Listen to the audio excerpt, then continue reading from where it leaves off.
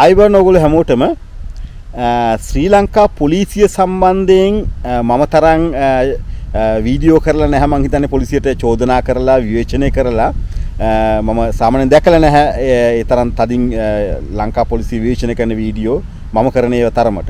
ඉතින් මම ගොඩාක් වීඩියෝ කරලා තියෙනවා. මගේ වීඩියෝ ලැස්තුව බලවත් ඔයාලට බලන්න පුළුවන්. ලංකා පොලිසිය විවේචනය කරන වීඩියෝ හේතුව තමයි ශ්‍රී ලංකා පොලිසිය කියලා කියන්නේ ලෝකයේ අනිත් පොලිසිය එක්ක සංසන්දනාත්මක බැලුවාම විවේචනයන් බහුතරයක් කරන්න අවස්ථාව තියෙන පොලිසියක්. මොකද හොඳ පැත්තට වඩා අපිට හොඳ දේවල් කියන්න තියෙනවා. හොඳ නිලධාරි මහත්තුරු ඉන්නවා. දැන් මම මේ කියන්නේ හොඳ නිලධාරි මහත්මයෙක් ගැන. නමුත් ඒ හොඳ නිලධාරි මහත්මයාට වෙන දේ අනුව අපිට තේරෙනවා ශ්‍රී ලංකා පොලිසිය විවේචනය කරනව හැර වෙන මොනවද කරන්න පුළුවන් කියලා.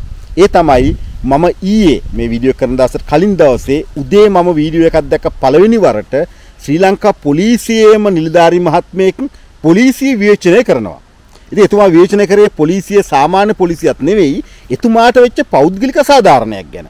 ඒ කියන්නේ විමල් ජයසේකර කියලා සාජන් මහත්මයෙක් බැජ් ගොඩක් ගහලා තිබුණා. ඒකෙන් තේරෙනවා එතුමා බොහොම බොහොම දක්ෂ නිලධාරියෙක් බව. මොකද මම මේ දැකපු දේවල් අනුව මම ඒ හරියට තරු මොනවද කියන එක අඳුරන්නේ නැහැ. නමුත් ඒවන ඒ තරු ප්‍රමාණය අනුව තේරුම් ගන්න පුළුවන් එතුමා ඉතා අවංකව හොඳට හොඳින් වැඩ කළ මහත්මයෙක් බව. ඉතින් මේ විමල් ජයසේකර මහත්මයාගේ වීඩියෝ එක මම පළවෙනි වතාවට දැක්කේ ඊයේ උදේ. මම එකට කමෙන්ට් එකකුත් දැම්මා. ඒකේ තිබුණේ ගාල්ල පොලිසියේ වැඩ කරද්දී එතකොට වෙච්ච අසාධාරණයක් පඩි සම්බන්ධ රුපියල් 50000කට පඩි කැපිල්ලක් ගැන ඊට පස්සේ ආරක්ෂක ලේකම්තුමා ගාල්ලේ හෝටලයකට ඇවිල්ලා ඒ හෝටලේදී එතුමා හම්බ වෙන්න ගිහිල්ලා ඒක හරි ගිහිල්ලා නැහැ. ඔන්න ඔහොම කතාවක් තියෙන්නේ. ඉතින් හරි පෞද්ගලික ඊටාම සාධාරණ චෝදනාවක්. ඊට පස්සේ එතුමා ඒ චෝදනාවෙන් ජයගෙනත් තියෙනවා වෙනත් Tamanට හිතවත් නිලධාරියෙක්ගේ පැමිණීමෙන් පස්සේ. එතකොට ඒ ඒ සිදුවීම කතාව හරි ලස්සනයි. ඒක ලංකාවේ පොලිසියක නිලධාරියෙක් ලංකා පොලිසි සම්බන්ධයෙන් එහෙම වීඩියෝ එකක් කරන මම දැක්ක පළවෙනි වතාව. එතකොට ඒක වෛරල් වෙලා ඒක ඊයේ උදේ දැකිද්දි මම කල්පනා කරා මේ ලංකාවේ පොලිසිය ගැන මම දන්න තොරතුරු අනුව මේ නිලධාරි මහත්මයාට මේ විමල් මහත්මයාට පැවැත්මක් තියේවිද පොලිසියේ. ඊට පස්සේ ආයෙ තව ටිකකින් හවස මම ආපහු මගේ ලැප් එක ඔන් කරාම ආයෙ මම තව වීඩියෝ එකක් දැක්කා. ඒක නම් මම සර්ච් කරලා ගත්තේ. ඒක විමල් මහත්තයා කෙනෙක් පොඩි කුතුහලයක් ආවා. මම ගහලා බැලුවා එතුමාගේ YouTube එකේ වීඩියෝ 3-4ක් දාලා තියෙනවා. බොහොම මොබයිල් ෆෝන් එක කරපු වීඩියෝ කීපයක් දාලා තියෙන්නේ. වීඩියෝ පහකට හයකට වඩා මම දැක්කේ නෑ. ඉතින් ඒකෙන් තව වීඩියෝ එකක් තිබුණා. ඒක දලදා මාලිගාව වඳින්න ගිය කතාවක්. ඒකට පෙර තිබුණා ඒ කතාවේ පූර්විකාවක් ඒ දළදා මාලිගාව වඳින්න ගිය අවස්ථාවකදී එතුමාට වෙච්ච අසාධාරණයක් නමුත් ඒ අසාධාරණයට සම්බන්ධ නිලධාරියා ගාල්ල පොලිසියේ ඉහළ නිලධාරියෙක් බවට පත් වෙලා තමන් හඳුට පෞද්ගලික හඳුනන සමකාලීන නිලධාරියෙක්. එතකොට එතනදී පිස්තෝලයක් නැති වෙලා රිවෝල්වරයක් නැති වෙලා ඒ සොයා දීම පිළිබඳව කතන්දරයක්. ඉතින් ඇත්තටම ඒක සාමාන්‍යයෙන් අපි දන්නවා පොලිසියක ඉහළ නිලයකට පත් වෙලා ආපුදාම තමන්ගේ රිවොල්වර එක නැති කරගත්ත කියන්නේ බෑග් එක නැති වුණා කියලා කියන්නේ බරපතල කේස් එකක්. ලංකාවේ පොලිසියේ තත්ත්වය අනුව සාමාන්‍ය නීතියට අනුව එතුමාට ඒ නිලය අහිමි වෙන්න පුළුවන් දෙයක්. ඔන්න ඒ නිලය ලබලා දීලා තියෙනෙත් මෙන්න මේ විමල් මහත්මයා. එතකොට ඒක හොයලා දීලා. ඒ කියන කතාව අනුව ඒ පුද්ගලයාම නුවර දළදා මාලිගාවේදී එතුමාට දළදා වඳින්න දළදාව බලන්න පාස් එකක් දෙන්න අසමත් වෙලා තියෙන. ඒ කියන්නේ පාස් එකක් දීලා නැහැ.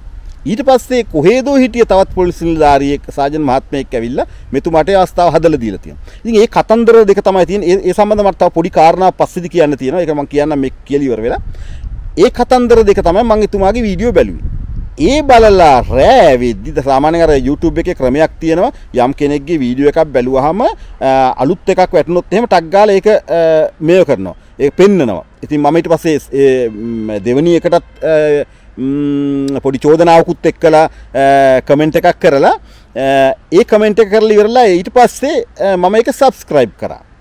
ඊට පස්සේ රෑ ආව එකක් විනාඩි එකමාරක දෙක වීඩියෝ එක එතුමා මෝටර් සයිකලයක බඩු පොදිත් බැඳගෙන යනවා ඉන්ටඩික් කරලා රස්සාවෙන් දොට්ට දාලා. එක දවසේ උදේ එක වීඩියෝ එකක් දැක්ක දවසේ එක වීඩියෝ එකක් දැක්ක උදේ මම හිතුවා මෙතුමාට පැවැත්මක් තියේවිද? හවස රෑ දැක්කා එතුමා ඉන්ටඩික් කළ එක. ඉතින් ඕක තමයි ලංකාවේ පොලිසිය තත්ත්වය. ශ්‍රී ලංකා පොලිසිය කියලා කියන්නේ ඕක. ඒ කියන්නේ කිසිම විදිහකට සාධාරණයට ඉඩක් නැති අසාධාරණේ පමණක්ම රජ කරන. මම පමණක්ම කියන එක තහවුරු කරලා කියනවා.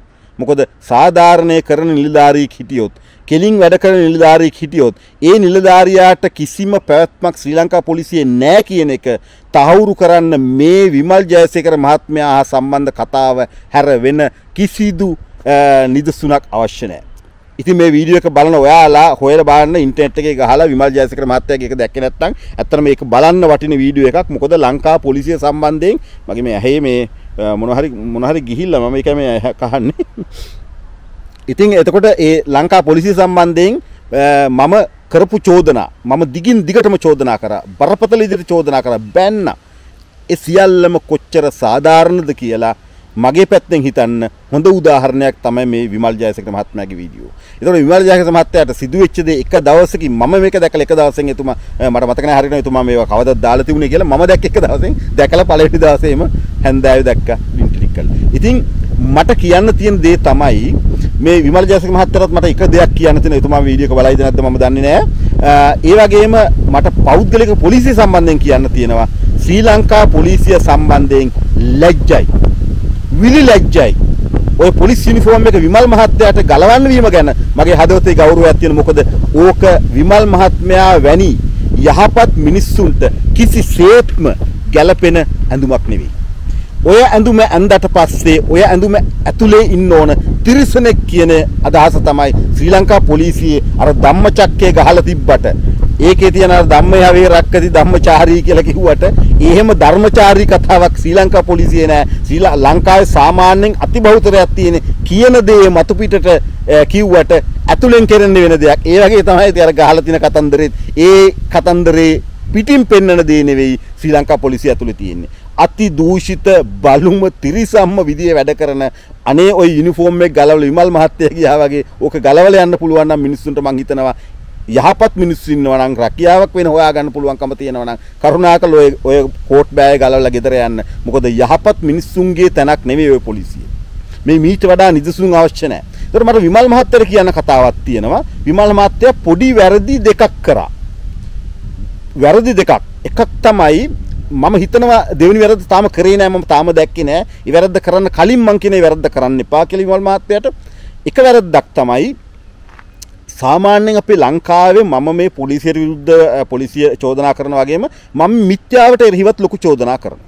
මොකද හේතුව සාමාන්‍ය අපේ මිනිස්සුන්ගේ තියෙන ගුණ යහපත්කම් හොඳ ගති පැවතුම් යහපත් ගති ඒ මිනිස්සුන්ගේ තියෙන හොඳ සිතුවිලි සියල්ලක්ම මිත්‍යාව විසින් ග්‍රහණය කරගන්නවා. ඒ මිත්‍යාව විසින් ග්‍රහණය කරගෙන ඒ මිනිස්යාට ලැබිය යුතු ගෞරවය ඒ මිනිස්යාගෙන් ගලවලා කොහේවත් නැති මිත්‍යාවකට ලබලා දෙනවා. ඒකට හොඳම උදාහරණයක් තමයි විමල් මහත්තයාගේ දෙවුණු මම බලපු වීඩියෝවේ. අර දළදා මාලිගාව ළඟට ගිහිල්ලා තමන් උදව් කරලා තමන් බරපතල උදව්වක් කරපු නිලධාරියා පාස් එක දෙන්න බෑ කිව්ව මොහොතේ.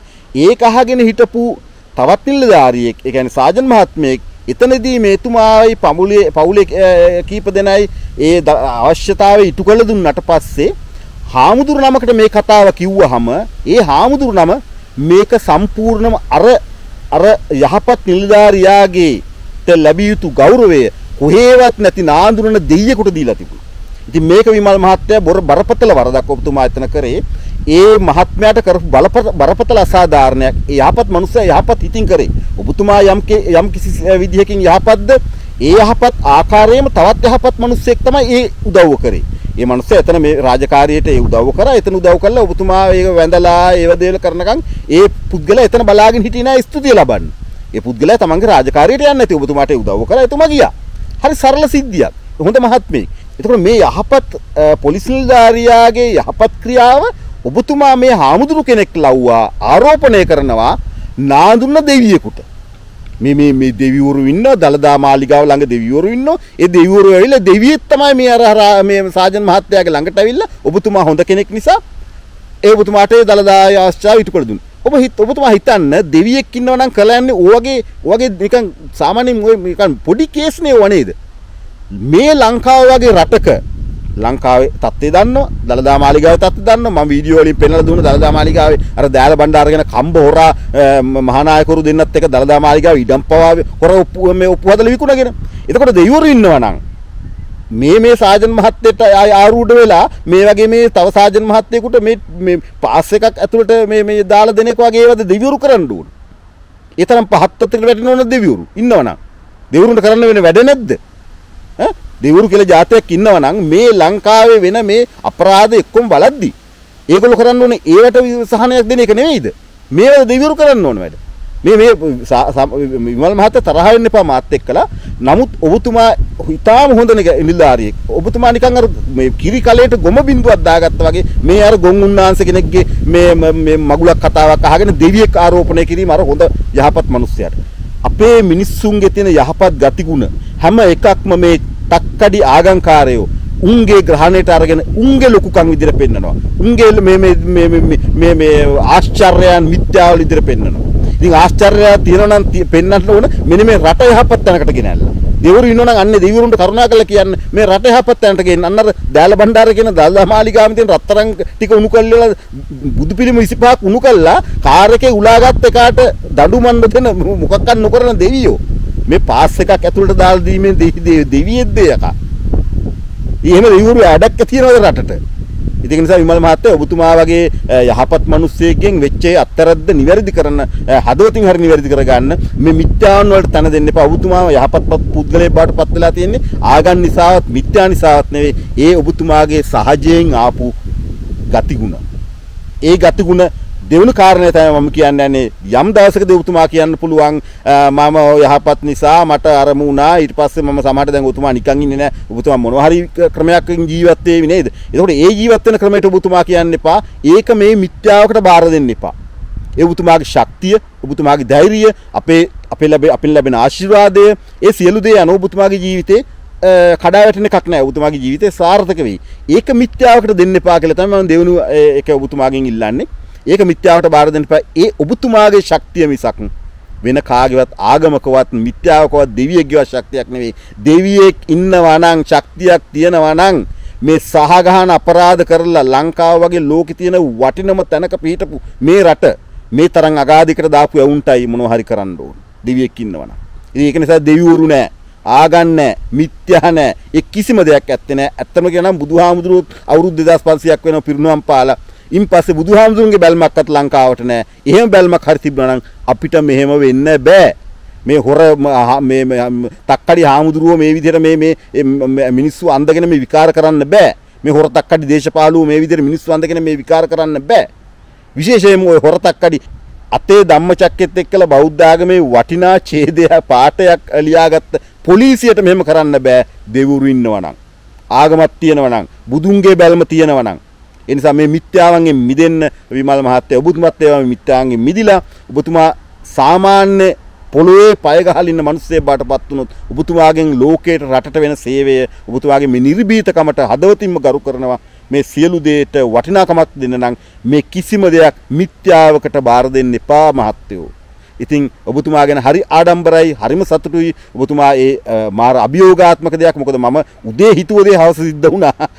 මොකද මම දන්න ලංකාවේ පොලිසිය අනුව ඔබතුමා ලංකාවේ පොලිසියේ දීර්ඝ කාලයක් අත්දැකීම් තියෙන කෙනෙක්. නම් මම බාහිරව ඉඳන් ලංකාවේ පොලිසිය දිහා බලපු කෙනෙක්.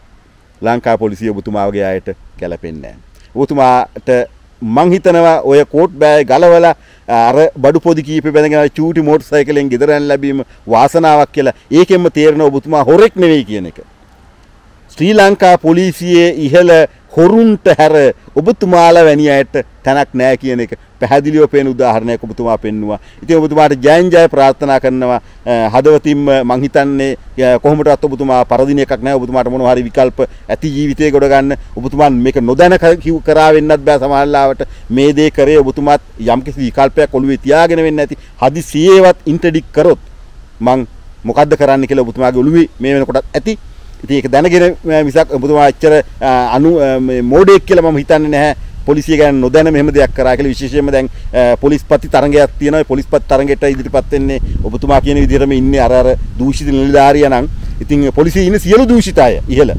දූෂිත දූෂිත නොවන කවුරුවත් නැහැ ඔබතුමා අපිට වඩා උතර දන්නවා. ඉතින් ඒ නිසා ඔබතුමාගේ අරමුණක් ඇති පාරක් ඇති ඔබතුමාට ජයන් ජය ප්‍රාර්ථනා කරනවා. ඒ වගේම ලංකාවේ පොලිසිය අනේ කරුණා කළා අර අවුරුදු 2500 හිටිය බුදුන්ට අපහාස කරන්න එපා මේ අර ධම්මචක්කේ ඒ ටික ගලවලා දාන්න. මොකද විමල් මහත්තයාට කර අසාධාරණයටත් අසාධාරණේ අපි දන්න ඕක වෙන බව. මම මං නම් උදේ හිතුව අවස වුණා. ඉතින් ඒ නිසා ඒ සියලු දේන් තේරෙන්නේ ශ්‍රී ලංකා පොලිසිය කියලා කියන්නේ ලෝකේ තියෙන දූෂිතම තව ඉතිරි වචන මම කියන්නේ නැහැ. මොකද මගේ කටින් නරක වචන පිට වෙනවට මම ආස නැහැ. මගේ YouTube channel එකේ. මොකද අසභ්‍ය වචන වලට මගේ වීඩියෝ වල තැනක් නැහැ. මගේ කමෙන්ට් එකකටවත් තැනක් නැහැ. ඉතින් ඒ නිසා බලු කියන වචන මම ගොඩක් ගොඩක් වෙලාට කතා කරනවා. මොකද බල්ලා කියලා අපි සාමාන්‍යයෙන් නිතර අසුරු කරන හොඳ සතෙක් ඉන්න නිසා ඒ සතාට අගෞරවයක් නොවන විදිහට තමයි මම බල්ලා කියලා කියන්නේ. නමුත් සමාජයේ භාවිතයේ එහෙම දෙයක් තියෙන නිසා. එහෙමනම් විමල මාත්‍යයට ජයපතන ගමන් ලංකාවේ පොලිසිය ගැන තවත් කියන්න දෙයක් ඉතුරු වෙලා නැහැ කියන එක කියන ගමන් මගේ මේ වීඩියෝ අවසන් කරනවා. ආයිබෝන් ඔයාලට හැමෝටම. තව වීඩියෝ හමුනිතු ආයිබෝන්.